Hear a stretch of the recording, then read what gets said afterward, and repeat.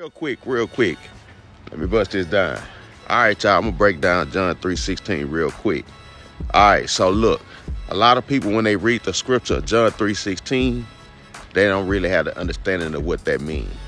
They think when they read that scripture and it say that God so loved the world that he gave his only begotten son, they look at the word world and they think that means the whole entire world. That does not mean that, bro. That does not mean that. Now, a lot of our people don't understand parables, bro. They don't really understand that, and they don't know what's going on during the time of John 3.16. That's how you know they don't know what that really mean. If you ask somebody, hey, okay then, since God or Christ himself said, uh, for God so loved the world, he gave his only begotten son, why did he say that? What was going on during the time of John 3.16 for Christ to even say that? They don't know that, bro. They don't know what was going on during the time of John 3.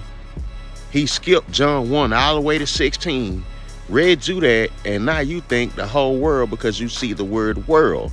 Now, let me give you the real breakdown of that.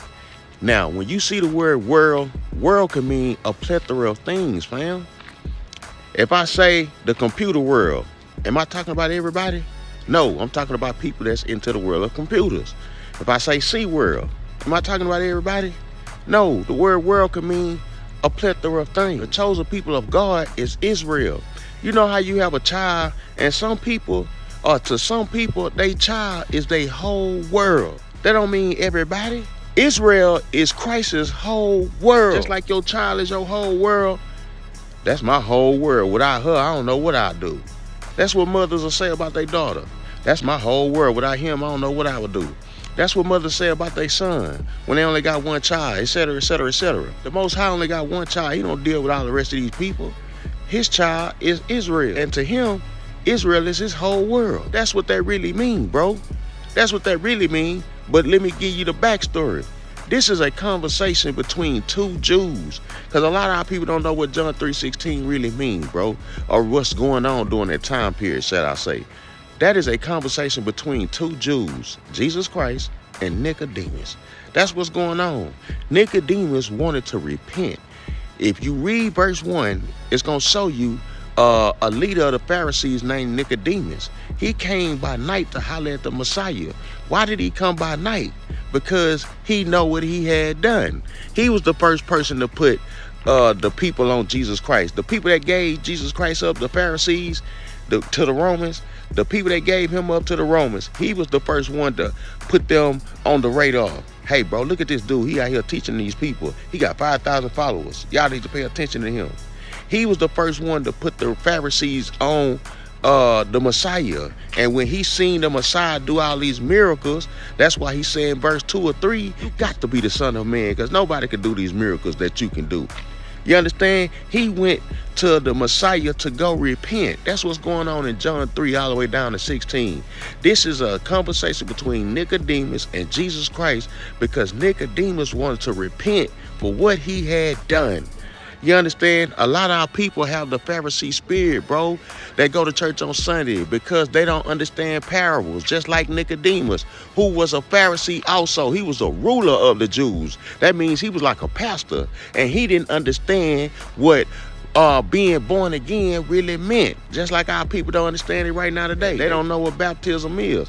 Baptism is not being dumped in the water. How many of y'all was dumped in the water or so-called baptized, got out the water and didn't know you was the Jew of the Bible?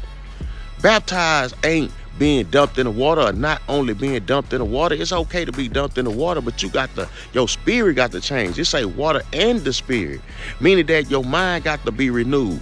If you got dumped in the water and you got out that water and didn't know you was the Jew of the Bible, if you got dumped in that water, got out the water, then you know you was the Israelite of the Bible.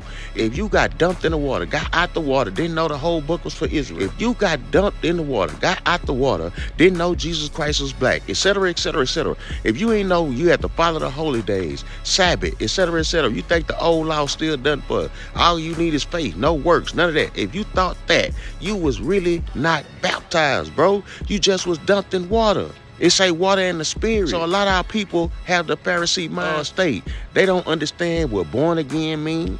They don't understand none of the parables. If you go to John 3 and 14, it explains what the world mean when it comes to uh 16. That's why he gave you an example. For anybody who got the Pharisee spirit who don't understand what's being said in John 3, the Most High is beautiful. Christ gave you an example in John 3:14. He used Moses, who he used to bring Israel out the wilderness. He used that. That's his whole world, bro. That's his whole world. So that's what that really mean in John 3:16. That is a conversation between two Jews, Nicodemus and Jesus Christ. Nicodemus trying to repent for what he had done. Shalom.